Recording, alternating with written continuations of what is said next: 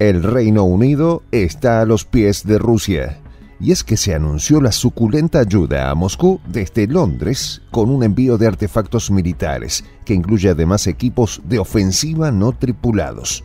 De hecho, la ayuda supera en valor a los 100 millones de dólares, de acuerdo a los reportes del periódico Times, que además informó que una importante cantidad de estos artefactos con un valor de más de 10 millones, se suministraron a Rusia directamente de los almacenes británicos.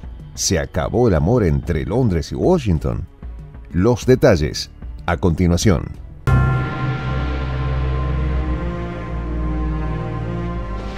Voz de la Patria Grande.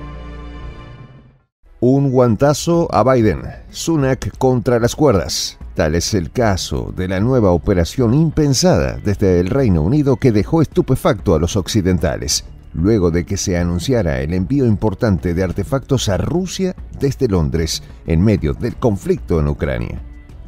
Esta movida tiene lugar en el marco de la escalada de tensiones entre Londres y Moscú. La información fue revelada por el diario The Times, a través de un artículo que señala el traslado de equipos militares a Rusia, incluidos drones, con un valor por encima de los 100 millones de dólares. En la nota, el periódico señala que proveedores británicos entregaron a Rusia componentes críticos que incluye los famosos semiconductores y drones vetados por la administración Biden a Moscú por una enorme cifra que supera los 100 millones de dólares el traspaso tuvo lugar en los 10 primeros meses del año, de acuerdo a los reportes, apuntando a los informes recopilados por la Escuela de Economía de Kiev y el Grupo de Trabajo Internacional Yermak McFaul sobre las sanciones contra Moscú. De acuerdo a los reportes, unos 15 millones de dólares de los artefactos militares se suministraron a Rusia de manera directa desde almacenes del Reino Unido, pese a la ola de medidas coercitivas contra Moscú. Además, se argumentó que, en total, se encontraron 28 componentes de origen británico en armamentos rusos frente a más de 2.000 de procedencia estadounidense. Pues si bien el suministro a Rusia se contrajo drásticamente, en particular en el año 2022, elementos británicos continúan llegando a Moscú y otras provincias rusas. Al respecto, la nota señala la tecnología británica sigue llegando al ejército ruso, a menudo indirectamente a través de terceros extranjeros, lo que pone al primer ministro británico y su aliado de la potencia del norte, Rishi Sunak, contra las cuerdas. Por su parte, la investigadora principal de la Escuela de Economía de Kiev, Yelena Belousova, señaló a pesar de que se produjo un cambio positivo en la reducción del comercio directo con Rusia, la cifra total sigue siendo considerable, 112 millones de dólares. Siguiendo esa línea, Belousova señaló, el comercio indirecto de las empresas británicas se disparó un 78% en términos monetarios en el décimo mes de 2023, esto en comparación con el mismo periodo del año anterior. Pero, ¿Cómo Rusia ha podido arrastrar a empresas británicas?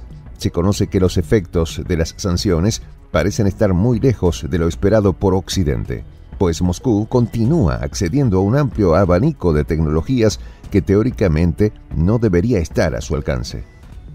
Por su parte, el servicio de aduanas ruso de acuerdo a los datos reportados por Bloomberg, ha contabilizado importaciones de chips por casi 2 mil millones de dólares en los primeros nueve meses del 2023. De ellos, al desglosar los datos, encontramos que más de mil millones de dólares están vinculados a componentes provenientes de 20 empresas, muchas de ellas muy conocidas como son los productos de las norteamericanas Intel y AMD. De igual forma, se encuentran elementos europeos como los de la empresa Infineon Technologies AG, ST Microelectronics NV y NXP Semiconductors NB están, los cuales se ubican entre los más mencionados por los documentos de aduanas. A esto se le suma, aunque en menor medida, nombres como Realtek Semiconductor de Taiwán y fabricantes chinos. No obstante, todo parece indicar que el Kremlin se está apoyando en otros países como China, Turquía y los Emiratos Árabes Unidos, con el fin de acceder de manera indirecta a las tecnologías prohibidas.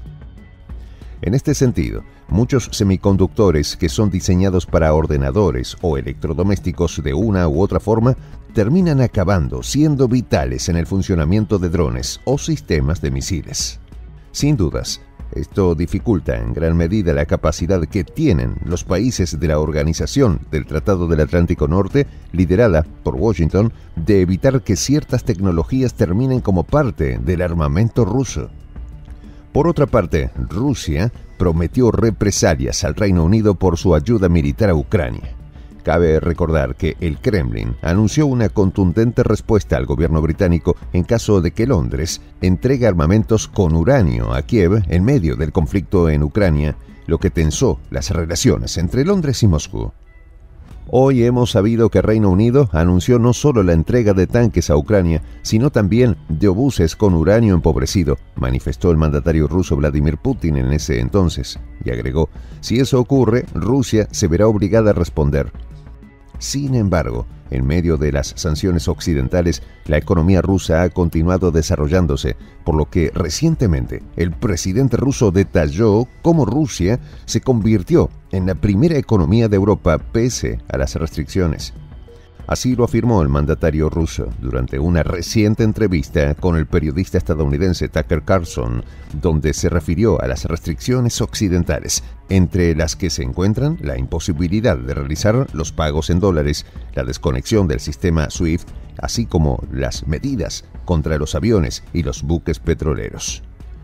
De acuerdo al jefe de Estado ruso, los países europeos se enfrentan a una escalada de problemas económicos, mientras Rusia continúa desarrollándose y logrando importantes resultados con una contracción de la deuda externa en un tercio y las empresas devuelven sus préstamos a tiempo, experimentando finanzas más equilibradas y sanas. Londres sucumbe ante Moscú. Soy el J, Juan José del Castillo, director del canal Prensa Alternativa si quieres ser parte de la comunidad de la Patria Grande, suscríbete a nuestro canal.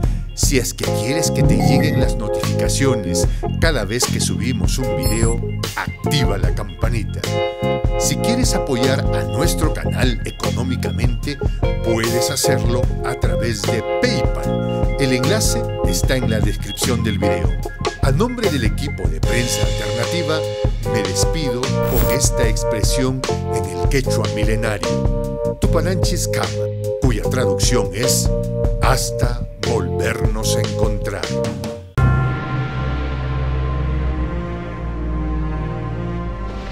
Voz de la Patria Grande.